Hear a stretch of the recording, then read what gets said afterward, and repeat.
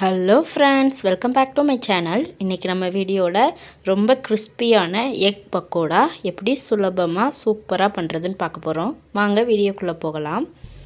இந்த எக் பக்கோடா பண்ணுறதுக்கு ஃபஸ்ட்டு நம்ம முட்டை வேக வச்சுக்க போகிறோம் அதுக்காக அடுப்பில் ஒரு பாத்திரம் வச்சு அதில் முட்டை மூழ்கிற அளவுக்கு தண்ணி சேர்த்துக்கலாம். எப்பயுமே முட்டை வேக வைக்கிறப்ப அது கூட கொஞ்சமாக உப்பு சேர்த்து வேக வச்சு பாருங்கள் முட்டையோட ஓடு ஈஸியாக சுலபமாக பிரிக்கிறதுக்கு வரும். நான் இன்றைக்கி அஞ்சு முட்டை எடுத்துருக்குறேன். இந்த முட்டை பக்கோடா பண்ணுறதுக்கு முட்டை வேக வச்சு நல்லா தோல் உரித்து எடுத்துக்கலாம். இந்த முட்டையை நான் இன்றைக்கி சீவி தான் முட்டை பக்கோடா செய்ய போகிறேன் அதனால தான் முட்டை நல்லா வேக வைக்கணும்னு சொல்கிறேன் பாருங்கள் முட்டை எப்பயுமே இந்த அளவு நல்லா கொதிச்சு வர அளவுக்கு வேக வைக்கணும்.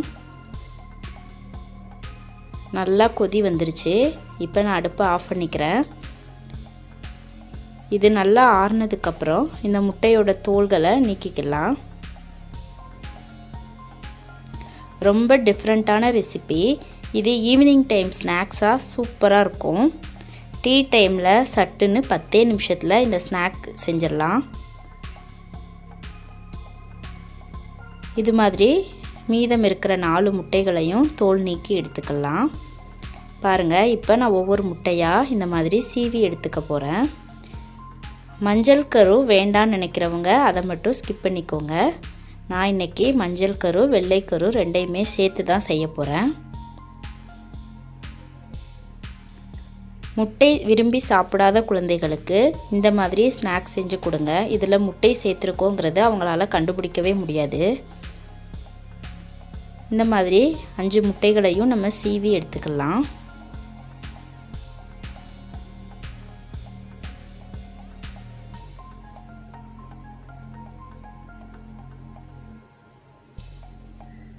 நான் எல்லா முட்டைகளையும் சீவி எடுத்துட்டேன். சீவின முட்டைகளை இந்த மாதிரி ஒரு மிக்சிங் பவுலில் மாற்றிக்கலாம்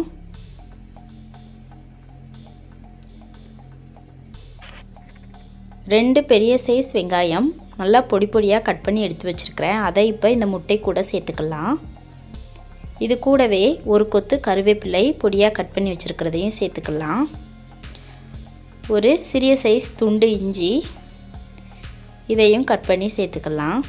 பச்சை மிளகாய் வேணும்னாலும் சேர்த்துக்கோங்க. இது கூட ஒரு மூணு ஸ்பூன் அளவுக்கு கடலை மாவு சேர்த்துக்கிறேன். ரெண்டு ஸ்பூன் அரிசி மாவு சேர்த்துக்கலாம். குழந்தைகள் சாப்பிட்றதுனால நான் பச்சை மிளகாய் சேர்க்கலை. காரத்துக்காக ஒரு முக்கால் ஸ்பூன் அளவுக்கு மிளகாய்த்தூள் சேர்த்துக்கிறேன். இது கூடவே ஒரு கால் ஸ்பூன் அளவுக்கு ஜீரகத்தூள் சேர்த்துக்கலாம். இப்போ இந்த பக்கோடாக்கு தேவையான அளவு உப்பு சேர்த்துக்கோங்க. இது எல்லாத்தையும் ஃபஸ்ட்டு பரட்டி விட்டுக்கலாம். ஸ்டார்டிங்லேயே தண்ணி எதுவும் சேர்க்க வேண்டாம். வெங்காயத்தில் உள்ள தண்ணியே போதுமானதாக இருக்கும். பத்தலைனா கடைசியாக ஒரு ஒரு ஸ்பூன் அளவுக்கு மட்டும் நம்ம தண்ணி சேர்த்துக்கலாம். முதல்ல இந்த முட்டை கூட நம்ம சேர்த்துருக்கிற கடலை மாவு அரிசி மாவு எல்லாமே நல்லா மிக்ஸ் ஆகிற அளவுக்கு கிளறி விட்டுக்கலாம். நல்லா இந்த மாதிரி அழுத்தம் கொடுத்து பிணைஞ்சிங்கன்னா அந்த முட்டையோட மஞ்சள் கரு வெள்ளைக்கரு எல்லாமே மிக்ஸ் ஆகி மாவு கூட சேர்ந்து வரும். அதனால் நமக்கு தண்ணி எதுவுமே தேவைப்படாது. நான் ஒரே ஒரு ஸ்பூன் அளவுக்கு மட்டும் தண்ணி சேர்த்து எல்லாத்தையுமே இன்னொரு தடவை பிணைஞ்சு எடுத்துக்கிறேன்.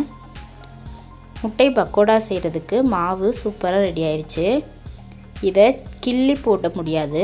அதனால் இந்த மாதிரி சின்ன சின்ன உருண்டைகளாக உருட்டி எடுத்துக்கலாம். இதை வடை மாதிரி தட்டி கூட போடலாம். நான் இன்றைக்கி உருண்டைகளாக தான் போட போகிறேன் பாருங்கள் இந்த மாதிரி உங்களுக்கு தேவையான சைஸில் உருட்டி எடுத்துக்கோங்க. நான் பிணைஞ்சு வச்சுருக்கிற மசாலா மாவு எல்லாத்தையுமே சின்ன சின்ன உருண்டைகளாக உருட்டி எடுத்துக்கிறேன். இப்போ அடுப்பில் எண்ணெய் காய வச்சுட்டேன். எண்ணெயும் நல்லா சூடாயிருச்சு. இப்போ நம்ம உருட்டி வச்சுருக்கிற உருண்டைகள் ஒவ்வொன்றா சேர்த்துக்கலாம். எண்ணெய் ஹை ஃப்ளேமில் வைக்க வேண்டாம். மீடியம் ஃப்ளேம்லேயே வச்சுக்கோங்க. முட்டை சேர்த்துருக்கிறதுனால பிரிஞ்சு வந்துருமாங்கிற சந்தேகமே வேண்டாம். நம்ம கடலை மாவு அரிசி மாவு கூட சேர்த்துருக்குறோம். அதனால் இந்த பக்கோடா கொஞ்சம் கூட பிரிஞ்சு வராது.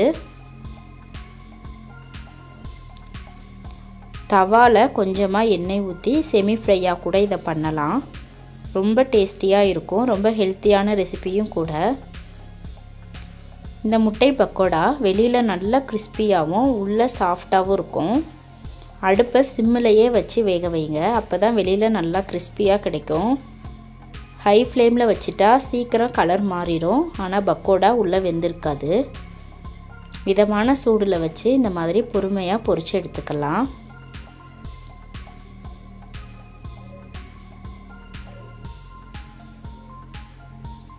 ஒரு சில டைமில் முட்டை வந்து வெடிக்கிறதுக்கு சான்சஸ் இருக்குது ஆனால் இது வரைக்கும் எனக்கு விடிச்சதில்லை. இருந்தாலும் நீங்கள் செய்கிறப்ப கொஞ்சம் கேர்ஃபுல்லாக இருந்துக்கோங்க. பாருங்கள் ஒரு பக்கம் நல்லா பொன்னிறமாக வெந்துருச்சு. இப்போ இதை நான் திருப்பி போட்டுக்கிறேன். இந்த மாதிரி திருப்பி திருப்பி விட்டு ஒரு ரெண்டு நிமிஷம் வேக வச்சு எடுத்துக்கலாம். த்ரீ டு ஃபோர் மினிட்ஸ்லேயே இந்த முட்டை பக்கோடா சூப்பராக ரெடி ஆயிரும்.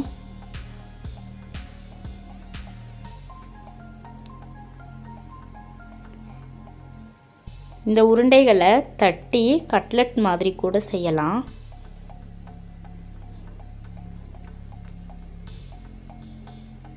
நம்மளோட முட்டை பக்கோடா நல்லா பொன்னிறமாக வெந்து வந்துருச்சு.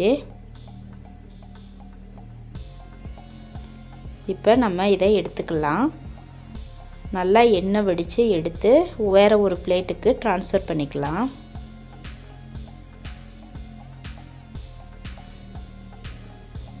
பாருங்கள் இந்த முட்டை பக்கோடாவை நான் எண்ணெயிலேருந்து கொஞ்சம் கொஞ்சமாக எடுத்துக்கிறேன்.